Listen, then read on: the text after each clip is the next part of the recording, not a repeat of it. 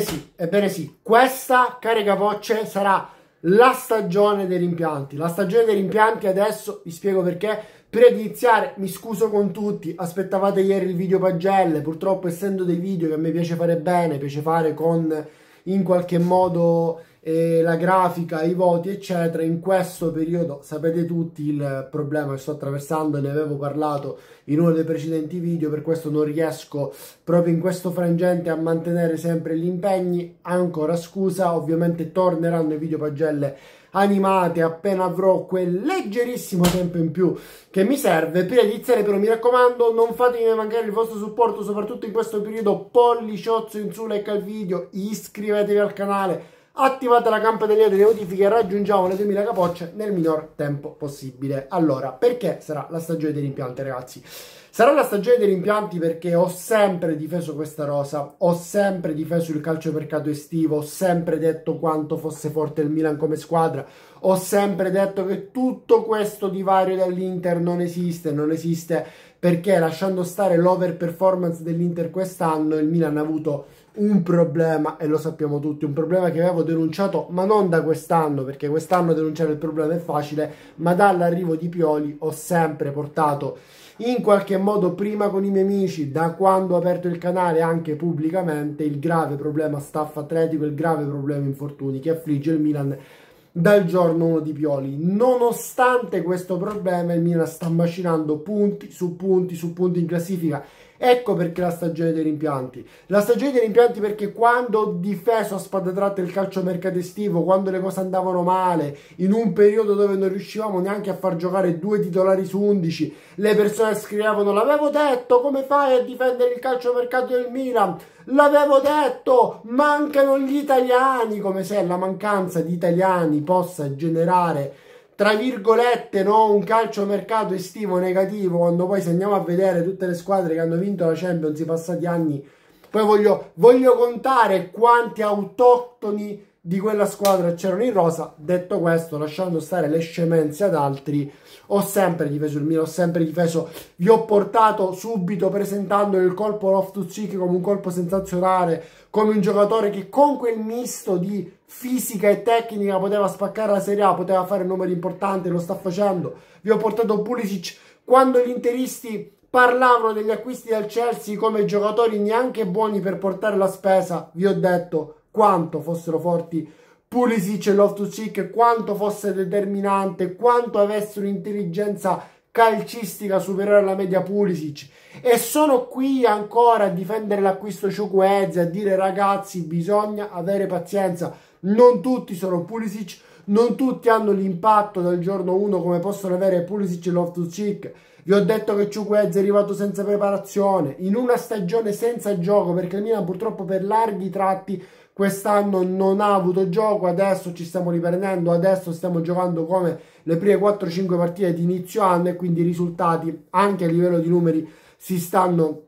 eh, stanno crescendo e non è un caso che Ciuquez esplode proprio in questa fase dove tutto inizia a girare bene. L'avete visto all'Inter, stagione da bulino bianco come ogni calciatore che entra fa bene, lo stesso Bissek su cui gli interisti nutrivano dei seri dubbi sta rendendo, sta rendendo Renato Gusto, stanno rendendo tutti perché quando la stagione è over performance, quando gira tutto bene, anche i singoli acquisti hanno un notevole aiuto nell'inserirsi nel contesto tecnico-tattico di una squadra. Vedrete come Chukwueze sarà il primo nuovo acquisto l'anno prossimo, si dimostrerà il calciatore importante, si dimostrerà e dimostrerà di valere i soldi spesi per lui, quindi da questo punto di vista ok. Purtroppo sarà la stagione dei rimpianti perché bastava avere un po' meno di arroganza, un po' meno di supponenza da parte di Pioli, cosa che ho più volte rimproverato al mister. E quando io rimprovero queste cose al mister, tutti i Piolers vengono qua a lamentarsi. Ragazzi, a me costa criticare Pioli.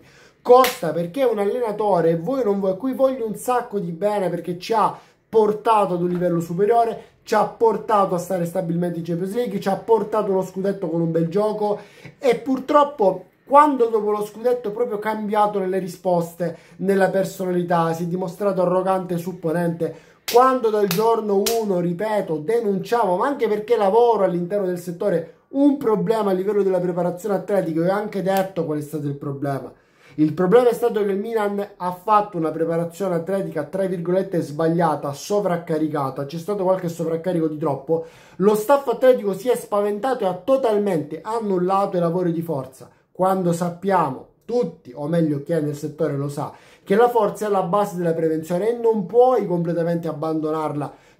per larghi tratti il Milan si è dimenticato dei lavori di forza a settembre, ottobre, novembre, dicembre, avendo una moria di infortuni. E non a caso i calciatori si infortunavano in partite e non in allenamento, perché in allenamento lo staff, avendoli sovraccaricati durante la preparazione estiva, li faceva andare sotto ritmo. Appena iniziava la partita, dove si andava a ritmi enormemente più elevati dell'allenamento sotto ritmo, i calciatori non erano abituati a tenerli e si rompevano cadendo tutti come mosche. C'è stato quel grave problema, la società ha cercato di porre rimedio a gennaio-febbraio cambiando, reintroducendo i lavori di forza, adesso si sta effettivamente vedendo che gli infortuni del Milan sono normali, adesso sì che sono normali quando ci sono. Purtroppo il Milan ha avuto una situazione, ragazzi, infortuni che non è una situazione sopra la norma, una situazione che non è mai esistita nella storia del calcio. Nonostante tutto, abbiamo fatto punti, abbiamo continuato a fare punti. Purtroppo, complice anche la stagione meravigliosa in campionato dell'Inter, e ripeto, in campionato perché poi in Champions League hanno fatto magre figure. E quel mese dannifico, un po' come è stato l'anno del nostro scudetto quando loro fecero due punti in sette partite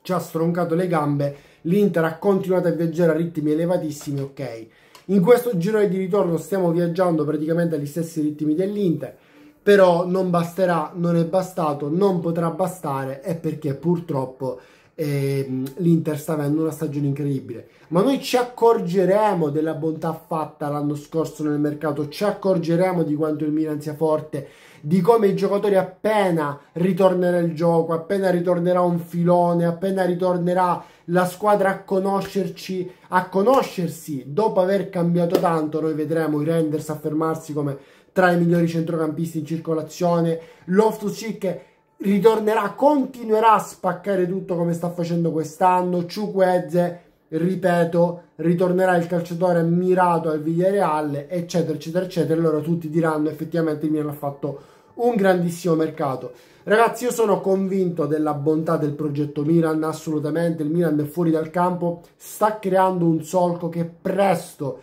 si dimostrerà tale anche all'interno del, del, del rettangolo verde. Quando finiranno i favori, quando magari finirà Marotta di tessere eh, le sorti di una squadra, l'Inter al momento tutelata tutelata dal sistema, ma non mi riferisco a favori arbitrali, mi riferisco a mancate indagini su qualcosa che sta realmente accadendo all'Inter, un presidente inseguito da creditori, da tutti, non può tornare in Italia, non si vede più da nove mesi ragazzi, all'inizio anno dovevano dare fideiussioni che non hanno avuto per iscriversi alla Serie A, quindi sta accadendo di tutto e accadrà presto all'Inter quando Marotta lascerà la squadra perché Marotta sappiamo essere l'ultimo padrino del calcio italiano in tutti i sensi. Purtroppo il Milan è una squadra che da quando non ha più una proprietà italiana, una squadra che non fa figli e figliastri, è una squadra che non invita certi giornalisti alle riunioni, è una squadra che non è tutelata dagli organi di stampa, si vede come la Gazzetta spara con facilità a zero sul Milan, si vede come gli arbitri quando devono uscire i cartellini gialli contro il Milan sono sempre ben felici di farlo, emblema il cartellino giallo uscito eh, contro Teo Hernandez, squalificandolo, facendogli saltare la difficile trasferta di Firenze quando Teo è dal giorno 1 che esulta in questa maniera, purtroppo sarà la stagione dei rimpianti, ma su questa stagione dei rimpianti dobbiamo costruire le fortune degli anni a venire. E, ripeto per l'ennesima volta, eh, confermare o non confermare Pioli solo sulla base di un'isperata vittoria dell'Europa League per me sarebbe in tutti i modi sbagliato. Sarebbe sbagliato perché confermare Pioli